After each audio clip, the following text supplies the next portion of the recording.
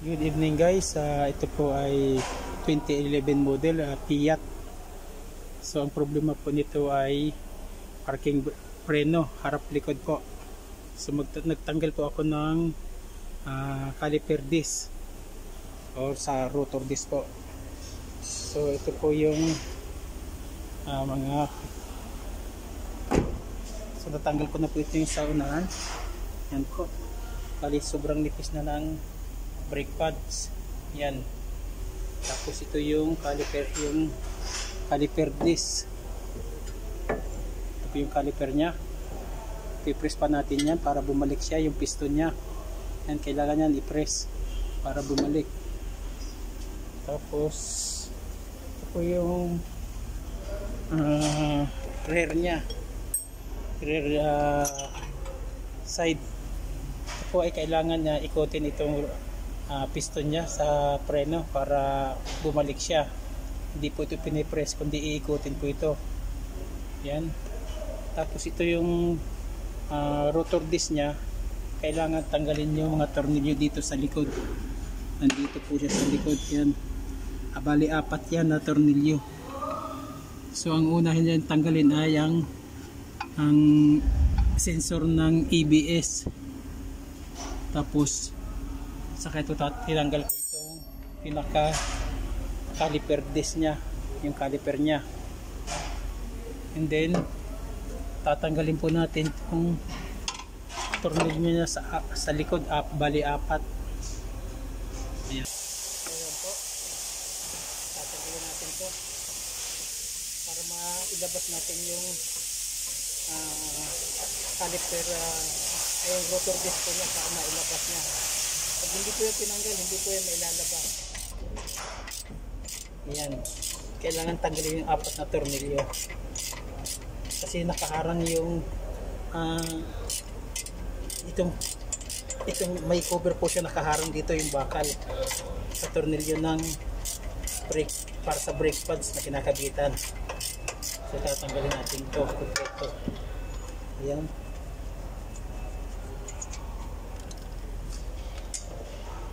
then isa na lang. Kasi apat ito maluwagan pa yung iba. Tanggal ko na.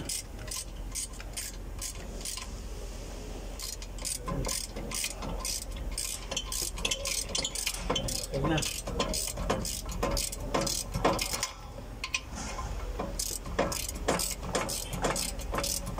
okay siya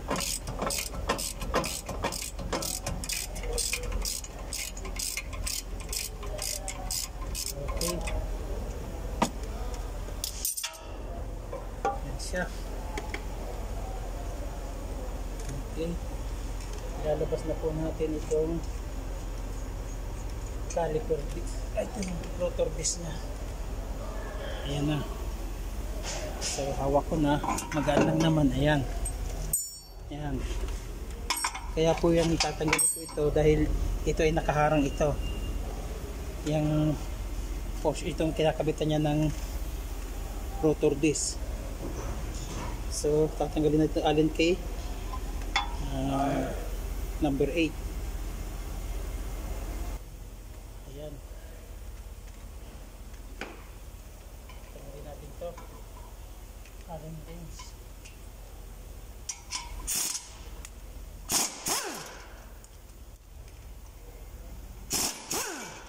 ayan po so tanggal na siya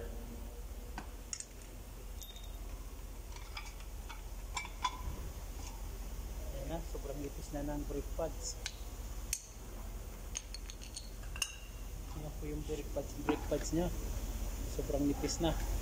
Sulit yung paggamit. Ito. Ayan.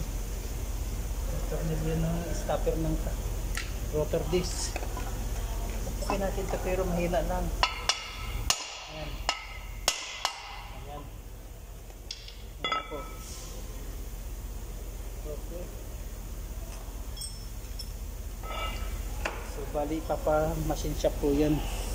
Dito naman tayo sa piston ng caliper.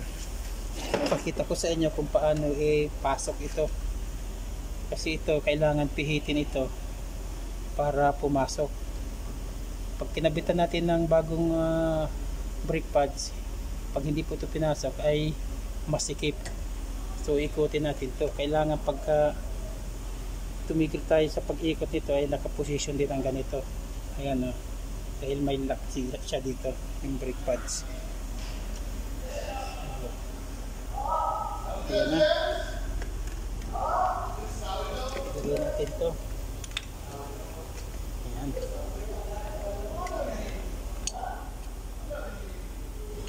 So natin yung brake pads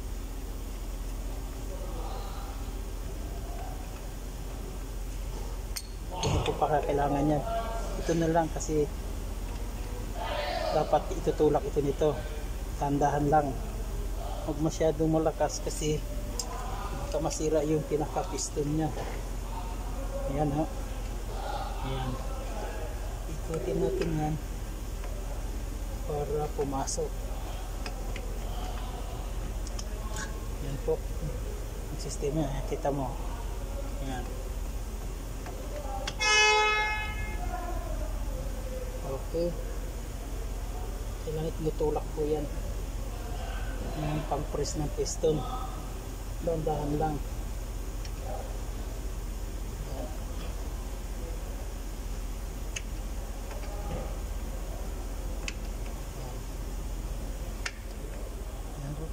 Sabay higpitan ng paunti-unti. Ito po ay ginagamit ko para dyan monkey flyer tawag po dito.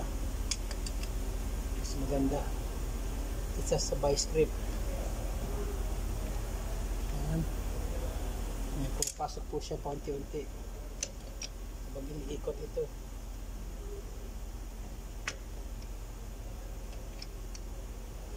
ayan siya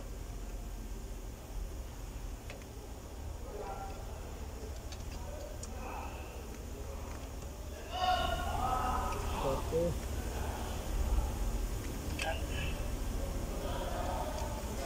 Lang po yan talaga. Hindi yan maibibiglaan na ipasok. Minsan mahirap. May portion pa siya ng mahirap.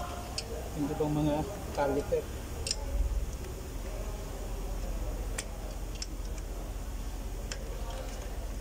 Ayan. Yan po yung piston, piston niya sa sa likod karami. Yan po talaga ang problema niyan. Kailangan yan pag kapag ang handbrake ay kasama sa piston.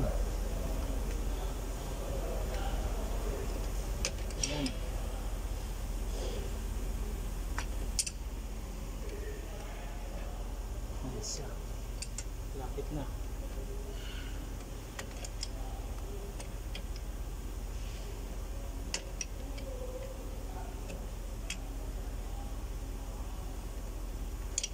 Ayan po, konti na lang.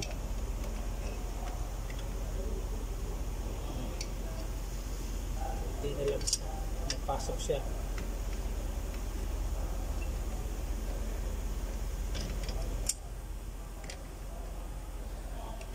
Ayan, konti-unti. Hindi pa.